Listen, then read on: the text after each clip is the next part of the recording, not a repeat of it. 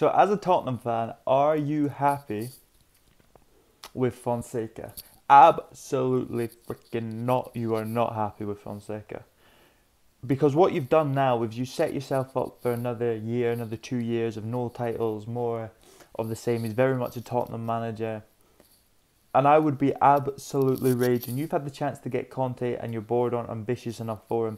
You could you went back in for Poch. That failed. You've had all these chances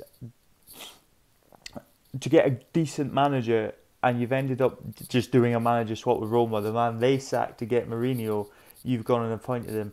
And I think you're very disappointed if you're a Tottenham fan because you have had all the promise of Conte, you've had all the promise of Pochettino coming back, of even at the start Nagelsmann, and he's got a Bayern, and probably not much anyone could have done about that one, but whatever. And and there's been other managers as well.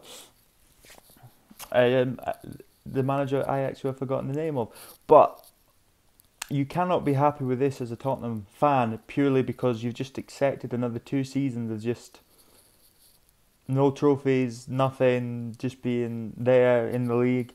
And yes, I hope he does prove me wrong. I want everyone to prove me wrong, and I do want Tottenham to have a good season. But I just cannot see him being the right man for the club. I cannot see him doing the right things.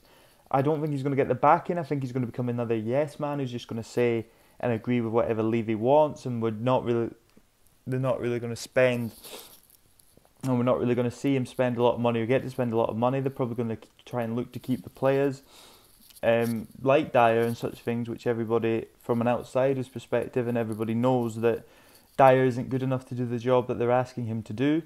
Um, and there's a lot of changes that that Tottenham team do need to make. A lot of players need to go out and a lot of players need to come in.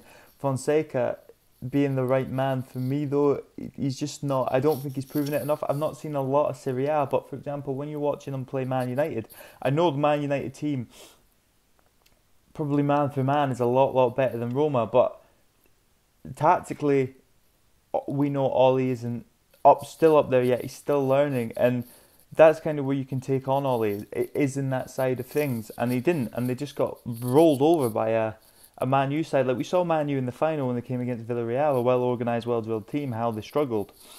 Uh, and Roma, they, they just battered them. They just absolutely battered Roma. So I'm not too sure how I feel about Fonseca going to Tottenham. Now, it could be an absolute genius appointment that none of us are thinking, and he's going to prove it. I know they've got that um, Paratici as now their sort of. Um, he's the new sporting director, and maybe he knows more. Obviously, he, he does know more than I do, and he's probably seen him every week as Juventus manager, as Juventus sporting director. He was for years, but I just can't see this ending in the success, and not even the success of Pochettino. I know Pochettino wasn't trophies, but if you ask a Tottenham fan about Pochettino, they'll tell you about you got the Champions League final, the football we played, the times we won.